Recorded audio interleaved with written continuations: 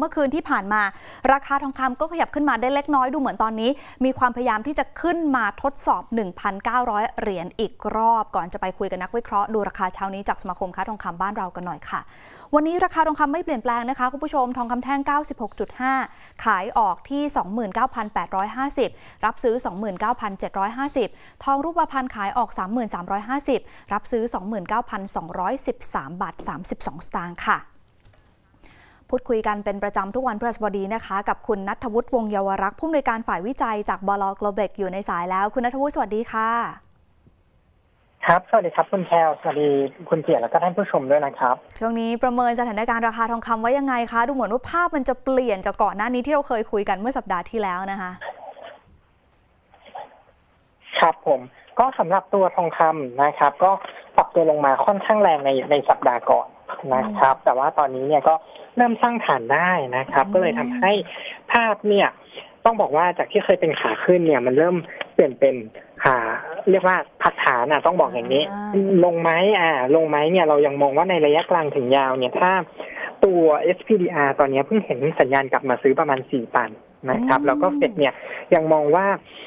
จะขึ้นดอกเบี้ยอีกสองครั้งครั้งละศูนย์จุดสองห้าเปอร์เซ็นต นะครับ แล้วก็ครึ่งปีหลังเนี่ย อาจจะมีการลดดอกเบี้ย ถ้าภาพยังเป็นอย่างนี้เรายังมองว่าระยะกลางถึงระยะยาวเนี่ยอทองยังไม่ได้มีปัญหานะครับ แต่ในระยะสั้นๆเนี่ยทองเริ่มตอบสนองกับข่าวลบที่ค่อนข้างแรงเลยทำให้ระยะสั้นอาจจะเรียกว่าถูกกดดันอยู่ แต่ระยะกลางถึงยาวถ้าภาพยังไม่เปลี่ยนเนี่ย ตรงนี้ก็มองว่าซึมซึมลงเป็นจังหวะเข้าซื้อได้อ๋อซึมซึมลงสักประมาณเท่าไหร่ถึงจะน่าสนใจคะคุณนัทวุฒิ ครับตอนนี้ที่เราประเมินแนวรับไว้1,850นะครับ แล้วก็แนวต้านตอนนี้อยู่ประมาณสักพันเก้าร้อยถ้า ยิ่งใกล้1,850ก็มีโอกาสที่เขาเรียกว่าน่าสนใจซื้อมากขึ้นนะครับ แต่ย้ำนิดหนึ่งว่าระยะกลางห้ามมีการหมายถึงว่าภาพยังไม่เปลี่ยนเนาะแต่ถ้าเปลี่ยนถ้าเปลี่ยนหมายความว่าเริ่มเก็บเริ่มเร่งขึ้นดอกเบี้ยเร็วขึ้นนะครับ อันนี้ก็จะทำให้ จากที่เราบอกว่าเป็นมุมมองบวกนะอาจจะเป็นมุมมองลบลงมาได้ครับแสดงว่านอกเหนือจากจะดูตามกรอบแนวรับแนวต้านแล้วสิ่งที่สำคัญที่จะกำหนดราคาทองคือสัญญาณจากเฟดเลยถูกไหมคะใช่ครับผมแล้วช่วงนี้อย่างดอลลาร์เนี่ยเราต้องเราต้องไปโฟกัสอะไรไหมคุณนัทวุฒิมองยังไงคะดอลลาร์อินเด็กซ์ก็เหมือนเริ่มจะกลับมาแข็งแล้ว จริงๆ ช่วงนี้โฟกัสที่เฟดอย่างเดียวเลยครับ ถ้าเฟด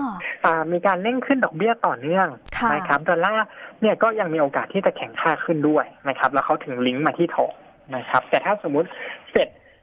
ตามแผนเดิมก็คือขึ้นสองครั้งครึ่งปีแรกครึ่งปีหลังชะลอเนี่ย พอเริ่มชะลอเรามองว่าดอลลาร์มีโอกาสที่จะอ่อนและทองมีโอกาสที่จะเด้งได้ครับคุณนัทวุฒิขอถามเรื่องหนึ่งได้ไหมคะ เพราะว่าสัญญาณความขัดแย้งระหว่างจีนกับสหรัฐอเมริกาเนี่ยก็ ก็ถูกสื่อต่างประเทศพูดถึงอยู่เหมือนกัน แม้ว่าจะยังไม่ได้ขยายวงกว้างเท่าไหร่ แต่ว่าเราจำเป็นจะต้องดูประกอบกันไปไหม เพราะว่ามันอาจจะเป็นเรื่องที่เหนือความคาดคิดและอาจจะส่งผลต่อการเวียงไหวของราคาทองในมุมของนักวิเคราะห์จับจ้องเรื่องนี้ไว้บ้างหรือเปล่าคะครับผมสำหรับเรื่องนี้เราก็ติดตามครับ แต่เราดูเรื่องของที่ ทางเครื่องบินรบสหรัฐเขายิงตัวบอลลูนอ่าต้องบอกนี้ พอเขายิงบอลลูนเนี่ยกลายเป็นว่าทองทองไม่ได้ตอบสนองกับข่าวนั้นนะครับ เพราะว่าบนบอลลูนเนี่ยเขาเหมือนจะไม่มีคนอยู่ด้วยนะครับ แต่ถ้าบนบอลลูนมีคนอยู่แล้วพิสูจน์ได้ว่าเป็นจีนอย่างนี้สมมตินะครับ อันนี้น่าจะทำให้เกิดความรุนแรงแล้วทองเนี่ยน่าจะเป็นบวกได้ค่อนข้างแรงเลยนะครับโอเค ได้ค่ะคุณนัทวุฒิวันนี้ขอบคุณมาก ๆ นะคะ ยินดีครับผม สวัสดีครับค่ะ ตอนนี้คุณนทวุฒิก็บอกว่าดูเฟดเป็นหลักเลยนะคะ เพราะน่าจะมีส่วนกำหนดที่ทางราคาทองคำระยะกลางถึงยาวยังไม่เสียทรงไม่เสียศูนย์ค่ะ แต่ระยะสั้นเนี่ยอาจจะยังเหวี่ยงแรงอยู่ เพราะฉะนั้นจับตานะคะ ใครยังไม่มีอาจจะซื้อแถวแถวแนวรับ1,850เหรียญแนวต้านตอนนี้ก็คือ1,900เหรียญสหรัฐต่อออนซ์ค่ะ ขอบคุณที่ติดตามรับชมรายการ TNN ชั่วโมงทำเงินนะคะ คุณผู้ชมอย่าลืมกด subscribe กดกระดิ่ง กดไลค์กดแชร์ทุกแพลตฟอร์มออนไลน์ของ TNN ช่อง 16 ค่ะ จะได้ไม่พลาดรายการสดและคลิปวิดีโออื่นๆ ที่น่าสนใจอีกมากมายเลยล่ะค่ะ